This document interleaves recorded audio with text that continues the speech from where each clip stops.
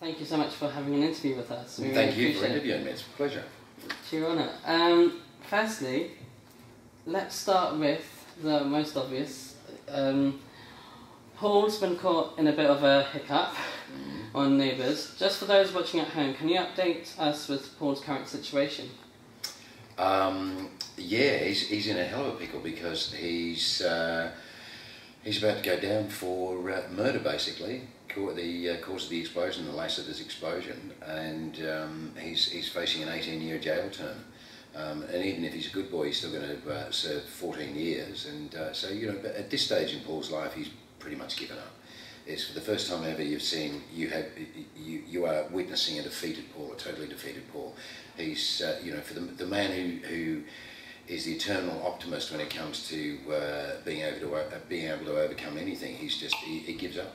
Yeah. Yeah. Um, with the evidence and his actions stacked up against him, what have you found most interesting about his current predicament?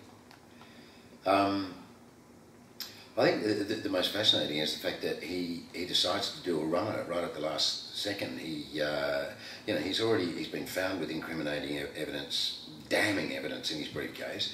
Uh, he he scrubbed the CCT footage which uh, showed him going down the stairwell. Um, he is now known to have hired uh, Cecilia to uh, mess things up a bit. Um, and then, at, yeah, the death's knock, he, he decides to sort of jump bail, skip bail, which you know puts Steph in a, a terrible predicament as well, because um, she's about to lose not only her livelihood with the motel, but also the, the uh, her son. You know, I mean, she's going to lose her son, which she's fought so hard to, to regain the relationship and the, and the custody of her son. Um, and uh, so you know he's he, he, it's just everything. He's he's being a very very stupid boy.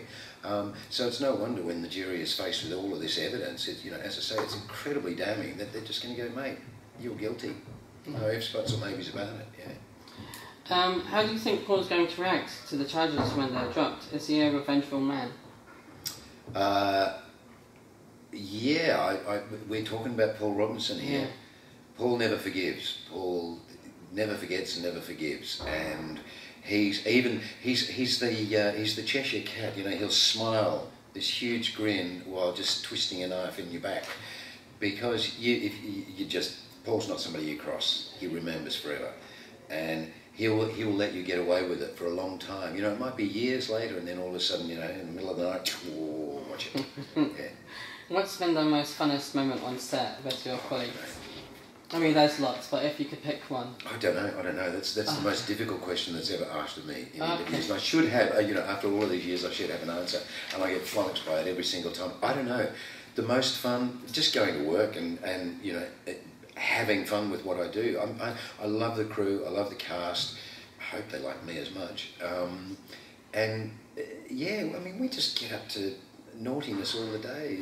You know, we. we I think it sounds very childish, no. but, but, some of the fun that I have is I'm, I'm, notorious, both myself and Fletch. I mean, we're just big kids sometimes. We, you know, we hide and jump out, boo, at people when they're walking walking down the corridor. And, you know, it's silly, it's childish, but God, it's great fun.